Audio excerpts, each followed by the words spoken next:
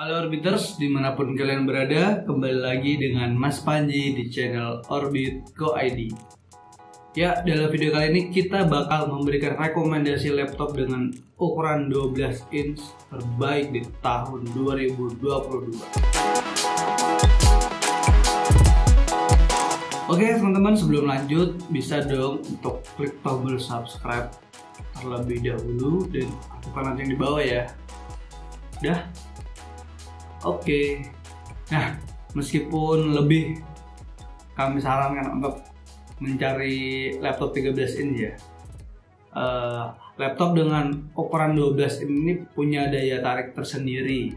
Khususnya bagi kamu yang sangat mobile namun tetap ingin produktif dan rajin buka tutup laptop.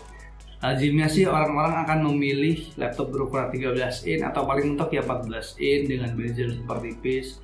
Karena tidak terlalu besar uh, sampai jadi berat. Jadi tidak juga kekecilan yang bikin sakit mata ya. Tapi kamu punya pilihan yang agak nyentrik nih ya ini berukuran 12 in. Pilihannya emang terbatas ya karena jarang brand laptop yang memproduksi laptop dengan ukuran sekecil ini. Tapi kalau kamu masih penasaran berikut adalah daftar laptop 12 inch terbaik yang bisa kamu pilih tahun ini. Yang pertama Apple MacBook 12 inch 2017 dengan spesifikasi layar 12 inch 1440 x 900 Retina display CPU Intel Core i5 dual core 1,3 GHz, RAM 8 GB, penyimpanan 512 GB SSD, PCIe SSD, kemudian grafik Intel HD 615 dengan port 1 kali USB Type C beratnya hanya 0,92 kg. Ya, kalau kamu fanboy Microsoft boleh langsung skip langsung skip ke video selanjutnya. Eh langsung skip ke laptop selanjutnya. Tapi hampir semua pengguna Windows fanatik pun kalau sudah sekali pakai Apple akan susah balik ke Windows ya kecuali untuk gaming. Laptop Apple MacBook 12 inch ini rilis tahun 2017 namun sayangnya ya dan sayangnya sudah sangat sulit cari barang barunya Nah, untungnya produk-produk Apple biasanya masih awet meskipun sudah bertahun-tahun digunakan.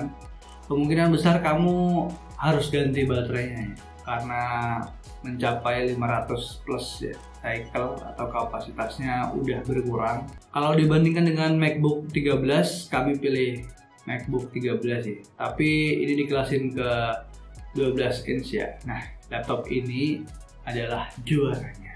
Yang kedua adalah Microsoft Surface Pro 7 Plus dengan spesifikasi layar 12,3 inch 2736 x 180 pixel kemudian CPU-nya Intel Core i7 generasi generasi 11 RAM 32 GB penyimpanan 256 GB NVMe PCIe M2PS M2 SSD kemudian dengan grafik Intel Iris Xe port yang ada di laptop ini adalah satu USB Type A, satu USB Type C, nano SIM LTE, audio combo, micro SDXC dengan Surface Connect ya.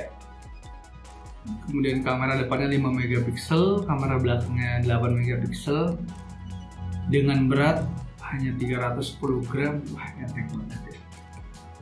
Ya, Microsoft Surface Pro 7 Plus ini merupakan salah satu seri laptop detachable dari Microsoft yang masih mempertahankan layar 12 in di mana versi Surface Pro 8 saat ini sudah mengikuti, mengikuti tren dengan menggunakan layar 13 in yang agak lebih besar. Secara performa eh, bila dilihat dari spesifikasinya pasti kamu langsung paham. Kalau laptop satu ini adalah laptop bisnis mobil. Ya. dengan sebagaimana kompetitornya uh, laptop yang satu ini unggul dari sisi manajemen daya di mana laptop ini bahkan bisa menyala terus hingga 10 sampai 15 jam pemakaian reguler ya. Terakhir, kelebihan yang menurut kami perlu disebutkan adalah layar yang begitu cerah dan sangat berwarna ya. pada akhirnya laptop yang satu ini memang benar-benar didesain untuk para pekerja dan tentu saja gengsinya tidak kalah dengan para kompetitornya. Yang ketiga ada Lenovo ThinkPad X12. Nah, lah untuk spesifikasinya dia memiliki layar 12,3 inch Full HD Plus 1920 x 1080 pixel CPU-nya Intel Core i7 dengan generasi 11 RAM 16 GB, penyimpanan 1 TB SSD, grafik Intel Iris Xe, kemudian portnya ada satu USB Type A, satu USB Type C, nano SIM LTE, audio combo, micro SDXC, Surface Connect, kamera depan 5 megapiksel, kamera belakang 8 megapiksel dengan berat 1,1 kg. Laptop detachable memiliki pesona sendiri ya seperti dua laptop pertama yang kami bahas di urutan ketiga ini adalah Lenovo ThinkPad X12 yang secara desain serupa dengan ThinkPad lainnya uh, tapi ini jauh lebih ringkas dan ringan. Dengan khas boxy ala-ala ThinkPad tetap dipertahankan pada laptop yang satu ini. Bahan magnesium dengan warna hitam doff membuat laptop ini cocok digunakan oleh baik orang, pebisnis, pekerja, pelajar, mahasiswa, dan bahkan oleh para kreator.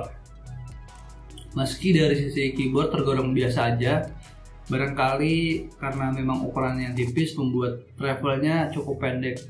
Tapi pen yang ada uh, menurut kami bisa jadi jadi tarik tersendiri ya pen yang responsif dan halus juga membuat rasa menulis di atas kertas.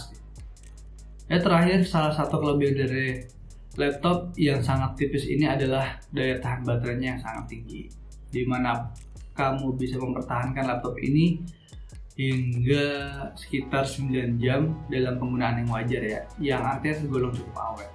Ya, yang nomor 4 adalah Microsoft Surface Laptop Go dengan spesifikasi layar 12,4 inch Full HD 1920 x 1080 CPU Intel Core i5 generasi 10 RAM 8 GB penyimpanan 256 SSD tambah 64 eMMC kemudian grafik Intel Ultra HD grafik dengan port uh, ada satu kali USB Type A, satu kali USB Type C, audio combo, Surface Connect port, kamera 720p dengan berat 1,22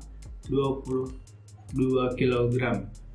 Ya, laptop yang satu ini merupakan laptop ringan uh, di kelas entry level yang bisa kamu miliki ya, yang bisa kamu beli.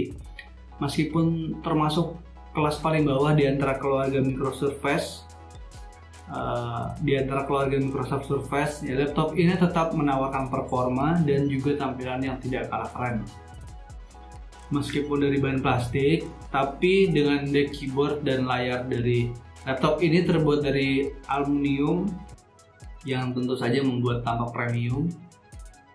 Bagian plastiknya pun sama sekali tidak terasa seperti plastik murah ya, yang membuat kamu tetap pede untuk menggunakan laptop ini. Kelebihan yang perlu disebutkan dari laptop yang satu ini adalah baterainya yang tahan lama ya. Hal ini lantaran spek yang tidak segahar kompetitornya dan bahkan pada penggunaan normal laptop ini bisa tahan lebih dari 12 jam tanpa charger yang menurut kami sudah lebih dari cukup ya menariknya dengan harga yang cukup murah untuk ukuran laptop tipis dan bahan pembuatan yang irit laptop ini justru memiliki keyboard yang terbaik yang mungkin digunakan oleh kamu yang ber profesi sebagai penulis ya. Kesimpulannya sih, laptop ini merupakan salah satu yang terbaik dari sisi price to performance. Yang kelima ada Asus Chromebook Flip C214MA. Masuk Chromebook Chromebook, dia udah Mac OS, Windows, sekarang Chromebook.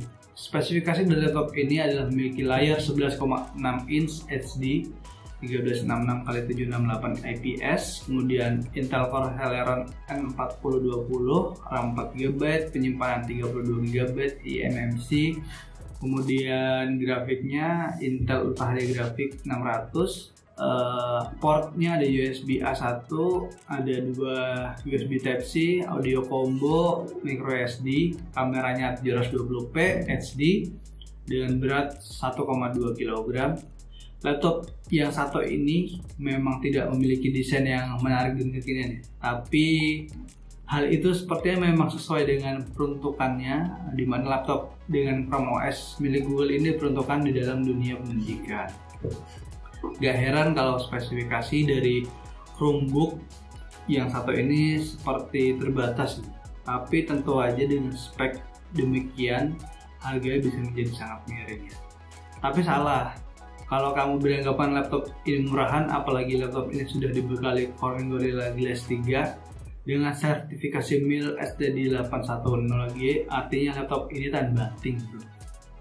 Ya laptop yang dimiliki pun eh layar yang dimiliki pun sudah layar sentuh ya dengan teknologi IPS LCD LED yang menurut kami cukup responsif dan sudah mendukung multi touch hingga 10 titik.